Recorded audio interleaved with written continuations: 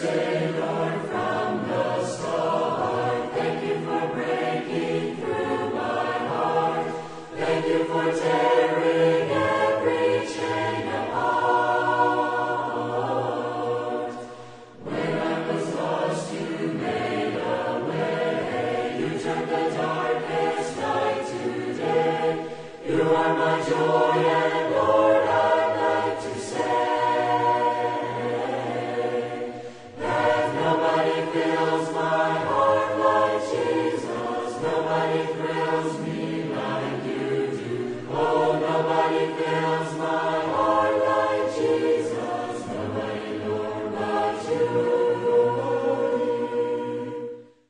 You are most welcome, our dear friends.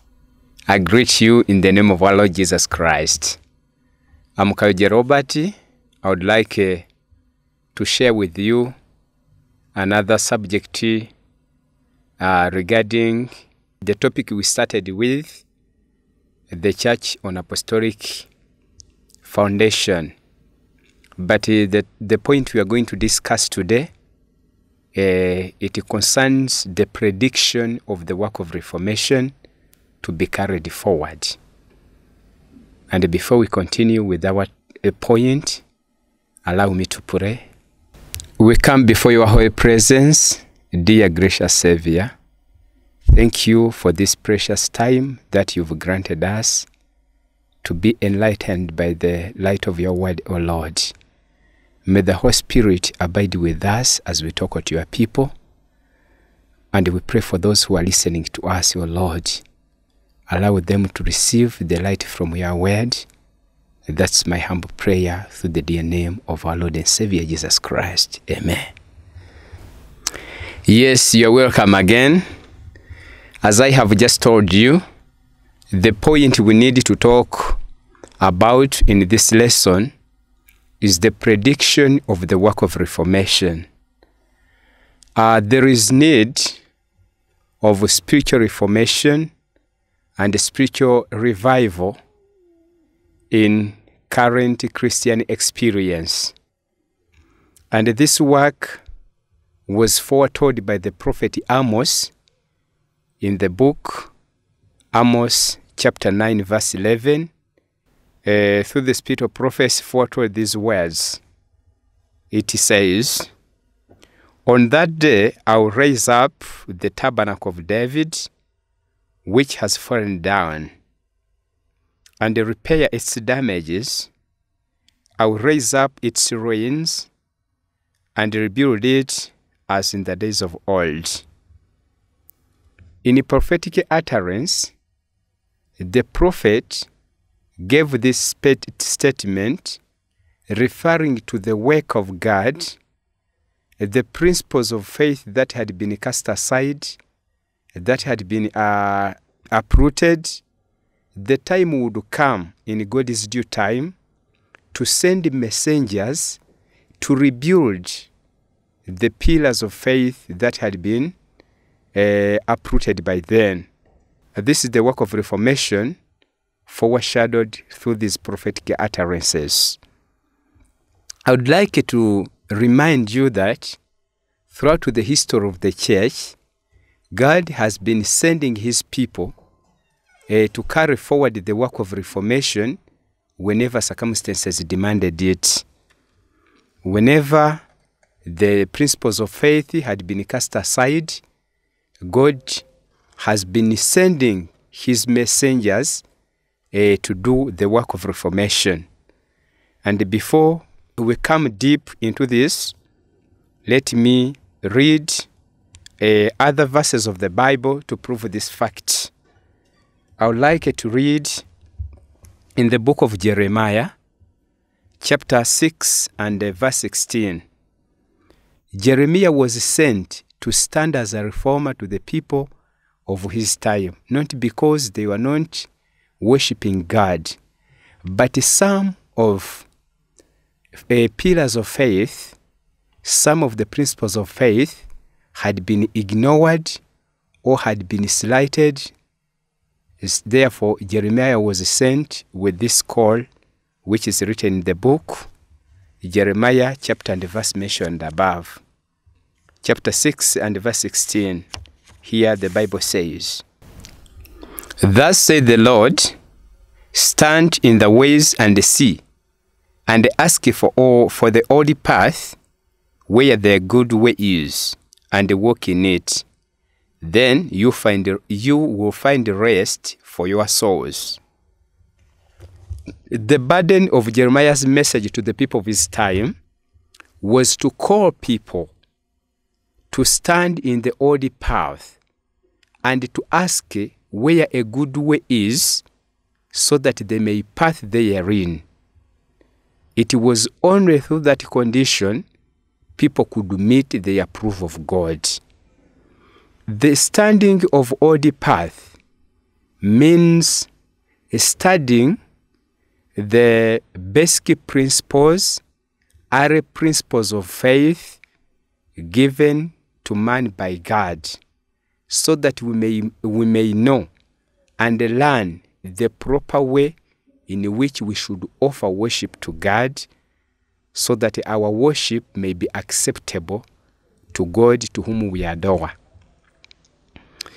Uh, the prophet insisted that he ask where a good path is and walk therein. What does this mean? It means that throughout the history of the church, God has been sending His truth to His people, but we need to know the proper way which God has commanded His people whereby to worship Him. In offering our worship to God, contrary to the principles of worship given, the worship and the service we offer to God can never be accepted. That's why we need to have proof of every service we offer to God, whether it is done in accordance with the principles of worship given in the Word of God. That's what it means, uh, the work of reformation, or to stand in the, in the old path and to walk in a good way. I would like to insist this fact by reading in the book of Jeremiah chapter 1 and verse 10. Uh, as we talk about the work of reformation, remember reformation means to bring back things in its natural state, in its origin state. Spiritual wise, it means that to stand in the pure truth of the principles of worship so that the services we offer to God may be offered in accordance with the will of God.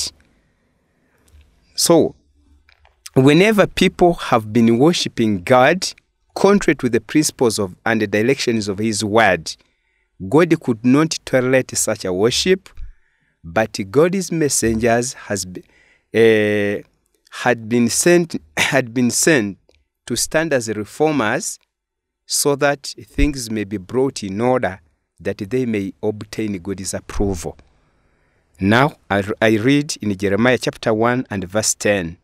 Here the Bible says, See, I, uh, I have this day set you over the nations and over the kingdoms to root out and to pull down, to destroy, and to throw down, to build, and to plant.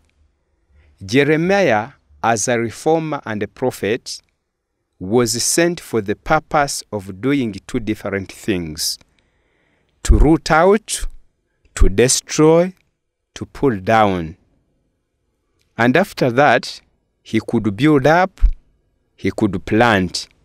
What does this mean? When it comes to pull down, to destroy, it means that every, prince, every principle which is not in accordance with the God's will, which is not in harmony with the directions of the Word of God, must be pulled out from the faith of believers in order for the worshippers to obtain God's approval. Whenever worshippers worship God, but contrary to the directions of His Word, contrary to the principles of uh, faith given in the Word of God, the work they offer to God cannot be accepted. That's why there is a need of pulling out, of destroying everything which is not in harmony with God's plan, but which is of man's devising. In order to understand this clearly, to eh, understand this clearly, I would like to refer uh, the statement of Jesus Christ our Lord, Jesus himself. In the book of Matthew, uh, chapter 15 and verse 13, Jesus himself uh, referred to this fact as a principle which needs to be maintained in order that the service we offer to God may obtain God's approval. Here I read in Matthew chapter 15 and verse 13. I'd like you to follow very attentively. It says, But he answered and said, Every plant which my heavenly Father has not planted will be uprooted. Jesus, uh, when he was talking to his disciples, the disciples told him about the Pharisees that they, they were offended because of the teaching of Jesus to condemn their traditions and to condemn their customs which were contrary to the will of God. Jesus, when he had condemned them, the, the Pharisees got offended and the disciples feared lest antagonism could rise against Jesus. And they told him that you know that the Pharisees have been offended because of your teaching. In answer to them, Jesus told, to, told them that leave them alone. Every plant which my, he, my heavenly Father has not planted shall be uprooted. This teaches us that it is in harmony with God's will and in God and with God's plan that every principle which is man-made, which has no divine credentials, must be pulled out, must be uprooted, and must be thrown away from the faith and the doctrines of the people of God in order that the worshippers may obtain the approval of God. That's what it means to uh, uproot every plant which our Heavenly Father has not planted. That was the first uh, mission, the first part of Jeremiah's commission. He was to uproot everything done in the church. He was to condemn everything maintained in the faith of believers, which was not in harmony with the directions and the commandments of God. Here, I would like to read a few words from the Spirit of Prophecy, the book Desire of Ages, which explain this fact, how it concerns us in our times. Yes, the Spirit of Prophecy in explanation of the verse of Matthew 15 13, where Jesus uh, said that every plant that my, our Heavenly Father has not planted is to be uprooted, the Spirit of prophecy says that the substitution of the precepts of man for the commandments of God has not ceased. As it was in the Jewish times, so it is now.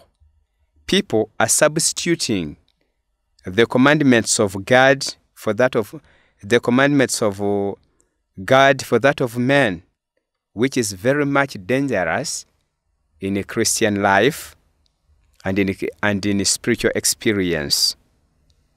Here the Bible, uh, the scripture continues says, even among the Christians are found institutions and usages that have no better foundation than the traditions of the fathers. This statement is very much true. Such institutions, resting upon mere human authority, have supplanted those of divine appointment. There are many examples which we may give, and we will give in our following, les- uh, our following lessons of how the institutions and the usages of men have supplanted the principles given in the Word of God. But the Savior says every, every plant that my Heavenly Father has not planted is to be uprooted. This means that in the place of authority of the so called fathers of the church, God bids us accept the word of eternal Father, the Lord of heaven and earth. He alone is the truth and mixed with the error. In the book of Psalms, chapter 11 and verse 3, David, the saint of God, David, the anointed of God, asked himself a question which need to which we need to ask ourselves in our times. And the question is here. I would like to read it. He asks, If the foundations are destroyed, what can the righteous do? If the foundations are destroyed, what can the righteous do? The foundations here referred to are the principles of faith given in the Word of God. When they are destroyed and uh, supplanted by man made theories, man made doctrines, we should not tolerate it and keep silence and leave matters without anything. When this happens, the only remedy which can be applied is the work of reformation which we are talking to, of which uh, many prophets foretold of its existence. Now, I would like to come back. Jeremiah, when he was sent to the people of his time, he was not only to uproot, to destroy, but he, he was also to plant he was also to build up, as it is indicated in the verse mentioned above. This means that the planting and the building up means the restoration of the principles which had been cast aside, bringing things on order and raising principles again so that the worshippers may meet God's approval. That is the work of reformation foretold that it must be carried forward in our time. I would like to read uh, other few statements in the spirit of prophecy in the book Prophets and the Kings, as well as in the book of Christian Service, to confirm what was foreshadowed in the verses already mentioned. The spirit of prophecy also uh, testifies the fact. In a prophetic vision, uh, this servant of God foresaw the work of reformation which God could carry out by his messengers as he did in the times of Jeremiah. Then she wrote, in the book of Prophets and the Kings, page 678, we read the statement here. In the time of the end, every divine institution is to be restored. Remember, we are learning predictions uh, of the work of reformation to be carried forward as it was indicated by the prophets of old. Now, in the book uh, uh, Prophets and the Kings, page 678, uh, the scripture foretold the coming of this work of reformation in these words. It says, In the time of the end, every divine institution is to be restored. This means that every command of God is to be again exalted. The Sabbath of the fourth commandment is to be preached and proclaimed and exalted so that men may know the sanctity and the sacredness of this divine institution, lest uh, they be measured to the balance and be found wanting, or because of the of ignoring this sacred uh, command of God. The, bre- the breach made in the law at the time the Sabbath was changed is to be repaired. God's remnant, God's remnant people standing before the world as reformers are to show that the love of God is the foundation of all enduring reform and that the Sabbath of the fourth commandment is to stand as a memory of creation, a constant reminder of the power of God. In clear, distinct lines, they are to present the necessity of obedience to all the precepts of the Decalogue. According to the spirit of prophecy, as we near the end, and as we near the time for judgment, God wants His people to be perfect, and they can only meet the standard of perfection by complying with everyone of divine requirements. That's why, according to the will of God, our God wants the reformation to be carried forward so that people may get ready for this coming judgment.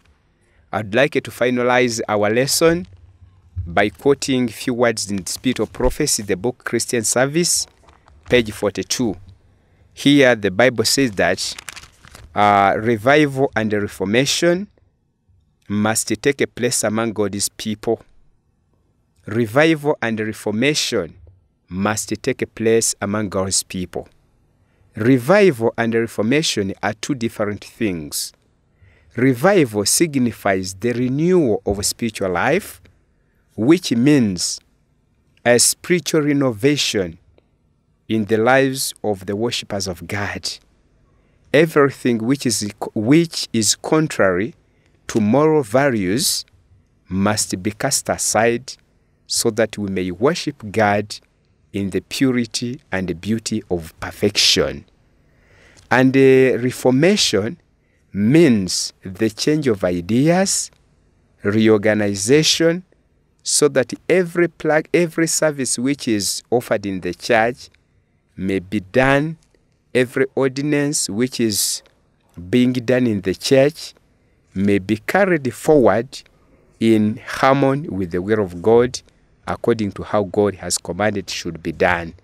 May God bless you, dear brothers listeners, and enlighten you so that we all may come uh, to understand God's will in this issue. May God bless you in the name of Jesus. Amen.